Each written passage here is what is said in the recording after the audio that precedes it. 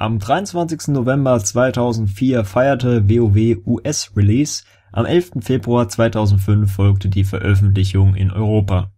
Jemand, der damals 18 war, ist nun über 30, hat vielleicht selbst eine Familie gegründet und über all diese Zeit friedlich neben WoW koexistiert. Inzwischen blicken Spieler auf sechs Erweiterungen zurück, das Grundspiel als solches nicht mit hinzugenommen auf völlig legitime Art und Weise bilden sich Spieler bis heute Meinungen über die einzelnen Teile der Reihe. Es mag jedoch überraschen, dass häufig die Meinungen der Spieler teils erheblich von Meinungen der Spielekritiker abweichen. So bewerteten Spielekritiker die Erweiterungen The Burning Crusade, Wrath of the Lich King, Cataclysm und Warlords of Draenor etwa gleich positiv, während die Ansichten der Spielerinnen und Spieler hier erheblich divergieren von großer Bedeutung ist der finanzielle Erfolg eines Spiels. Ein Maß dafür sind sowohl Abonnenten wie auch die Verkaufszahlen. Im zweiten Quartal 2010 waren die Abonnentenzahlen von WoW auf 12 Millionen gewachsen und erreichten damit ein Maximum. Es folgte eine Abnahme. Ende 2015 kündigte Blizzard an, keine weiteren Abozahlen mehr zu veröffentlichen die letzte Abozahl stammt von November 2015 mit 5,5 Millionen. Daneben sind aber auch Verkaufszahlen interessant. So wurde Legion am ersten Tag 3,3 Millionen Mal verkauft und war damit so gut wie Cataclysm und Warlords of Draenor. Verkaufsrekord. Von der Community wurde WoW bereits oft für tot erklärt das Netz ist voll mit Stimmen aus der Community, die minutiös darlegen, in welchen Punkten das Spiel an Stärke verloren hätte.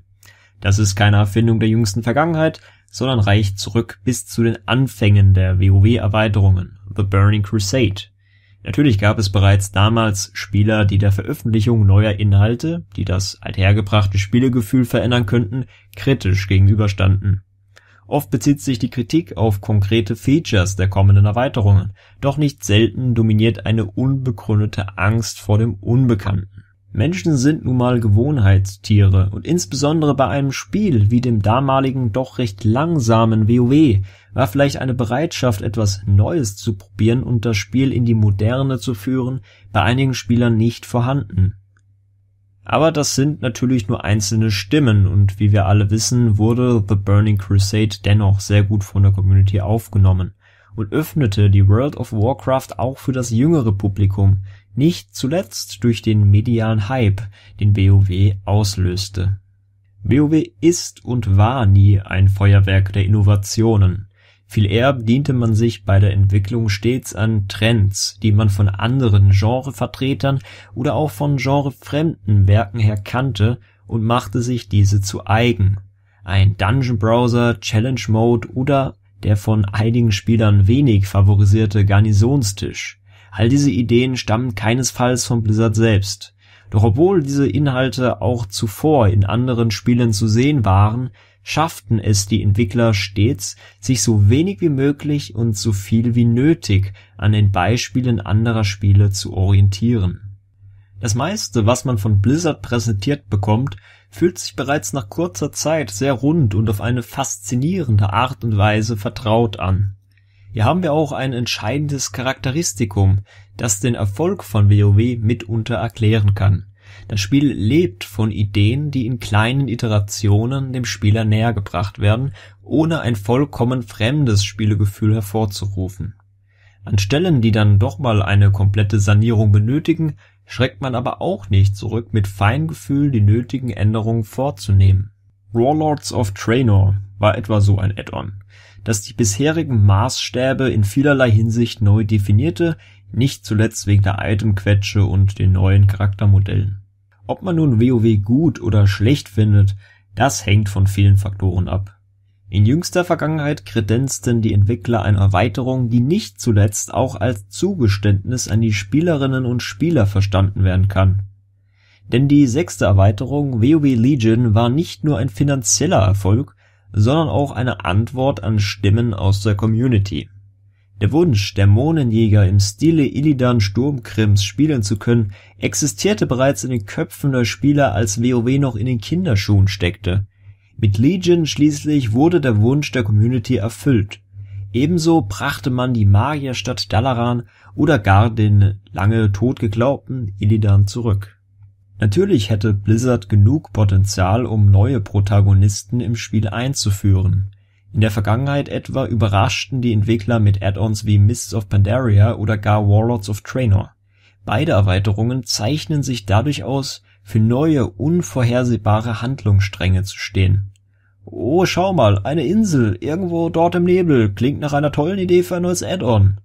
Tatsächlich wird der Begriff des Mists of Pandaria Add-ons in manchen Teilen der Community synonym für eine Erweiterung verwendet, die völlig unvorhersehbar und ohne sinnvollen Kontext daherkommt. Das Pandaren Add-on wurde von vielen zur damaligen Zeit abfällig als WoW für Kinder bezeichnet. So wurden doch die namensgebenden Pandaren in das geliebte World of Warcraft eingeführt, ohne einen direkten Bezug zu dem Kriegshandwerk erkennen zu lassen.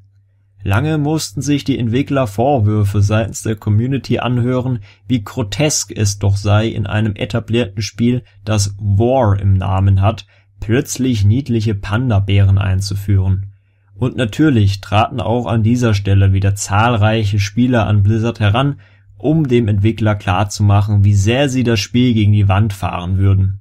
Die Rufe der Community, dass das Spiel nun endgültig tot sei, waren zu dieser Zeit vielleicht so stark wie niemals zuvor.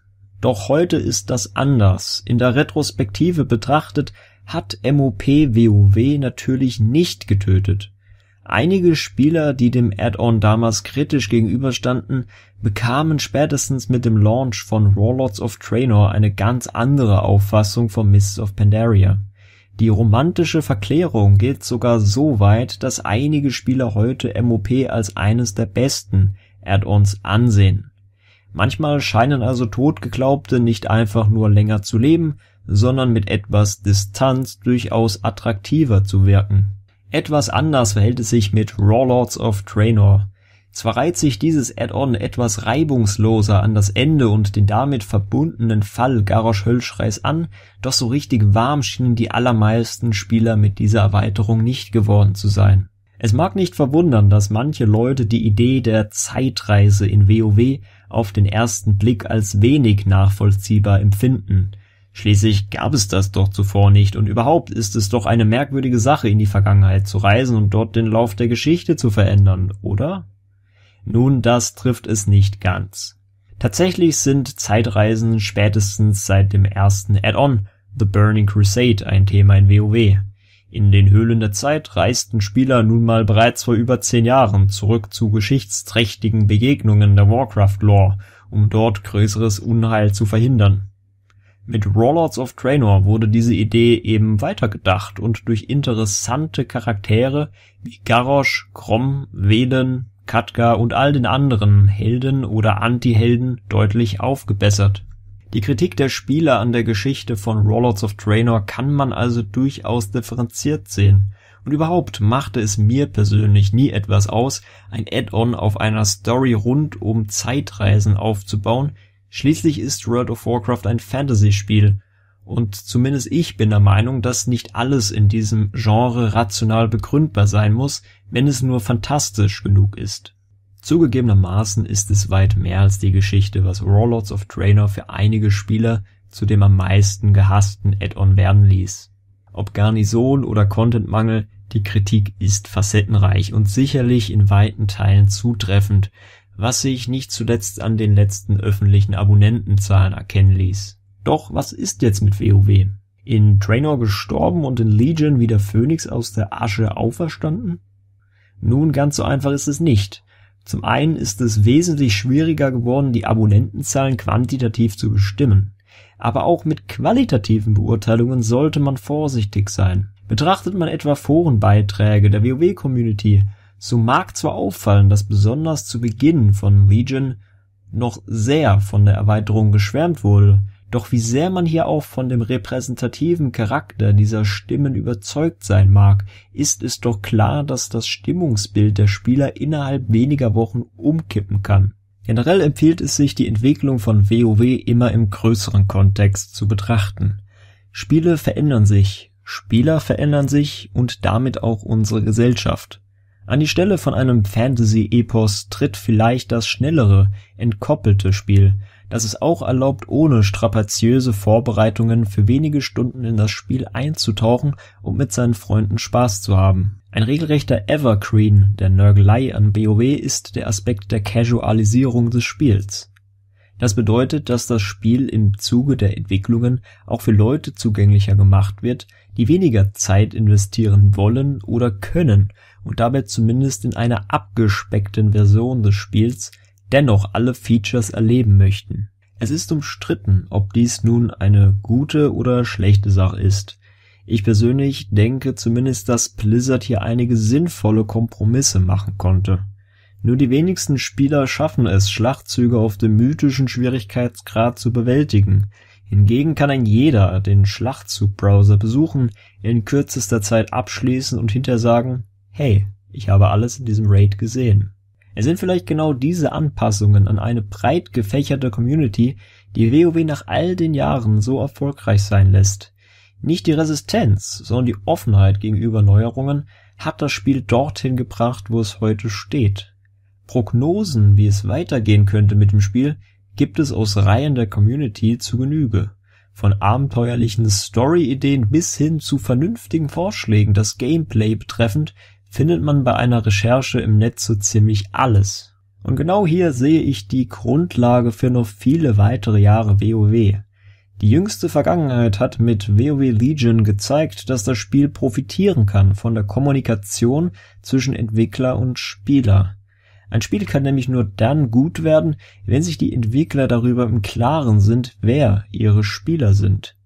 Beachtet man Wünsche aus der Community und betrachtet die Entwicklungen der Spielerbedürfnisse, ohne dabei von den eigenen Maximen abzuweichen, so wird sich ein Blizzard-Spiel auch noch in zehn Jahren wie ein Blizzard-Spiel und WoW wie WoW anfühlen. Die Angst der Spieler, WoW könnte sterben, halte ich überdies für unbegründet. Müsste ich mich festlegen, so würde ich sagen, es ist wesentlich wahrscheinlicher, sich selbst von dem Spiel loszusagen, als umgekehrt anzunehmen, WoW würde einem unter den Füßen weggezogen werden.